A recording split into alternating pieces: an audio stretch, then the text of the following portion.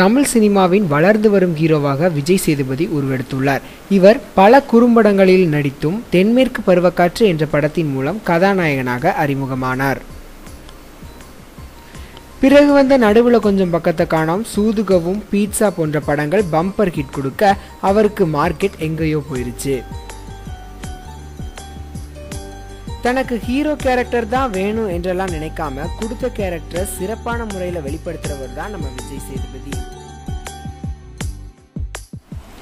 இனி தொடர்ந்து பல படங்கள் இருப்பதால் எப்போவுமே பிஸியாக இருக்கிறவரை எங்களால் சந்திக்க முடியல. இவரை பற்றி தொடர்ந்து தெரிந்து கொள்ள இணைந்திருங்கள் எங்களுடன்